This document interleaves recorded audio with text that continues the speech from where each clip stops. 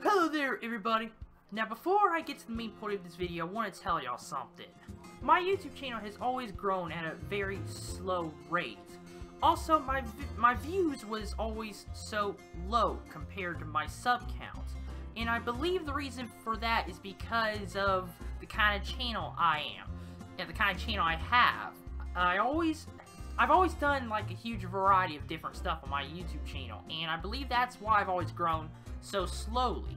So, I decided to make a new YouTube channel. On this channel, I'm not going to be doing any more speedrun related content. But on this new channel, which I call Patrick Barrett Speedruns, I'll be doing all my speedrun related content on that YouTube channel over there. So if you guys want to see any more speedrunning content, then subscribe to my new YouTube channel, Patrick Barrett Speedruns. I'll leave a link to that channel in the description down below. Now, one more thing I should tell you guys is, the way I upload on YouTube is probably going to be, I guess, a little messed up with uh, this new channel.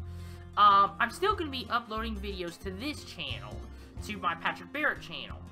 But, it's not going to be, like, as often, since I'm going to be, like, going back and forth between one or the other.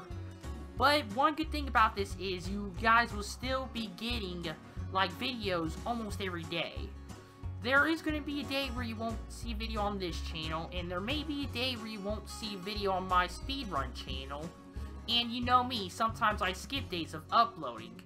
But, if you don't see a video uploaded one day on one or the other, then check the other channel and you may see a video on that one that day.